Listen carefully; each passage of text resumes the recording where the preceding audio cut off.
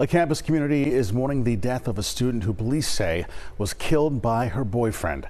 Temple University describes the victim, Milan Jones, as a promising third year nursing student. Madeline Wright speaks exclusively with the victim's roommate on how she wants her friend to be remembered.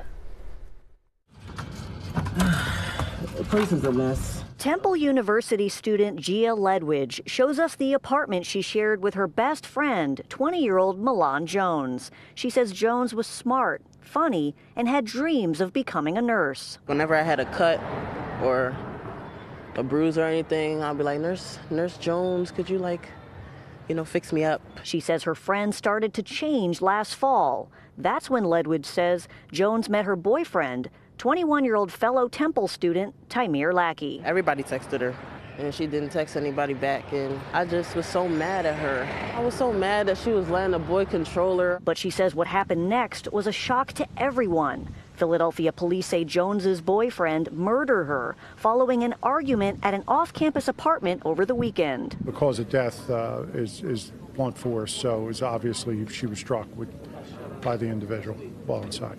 Temple University issued a statement to the campus community addressing Jones's death. It reads in part, there is no doubt she had a very bright future ahead of her, which makes delivering this news especially difficult.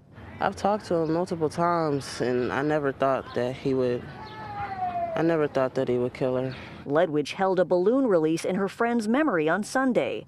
She says she never saw any signs of abuse, but then shared with me that there were some red flags, like Jones spending less time with her family and friends. I still blame myself for sure because I should have just did more. Grappling with guilt and grief, Ledwidge is focused on remembering her friend not by how she died, but how she lived.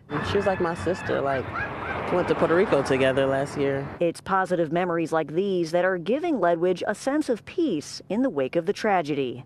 In North Philly, Madeline Wright, CBS News, Philadelphia.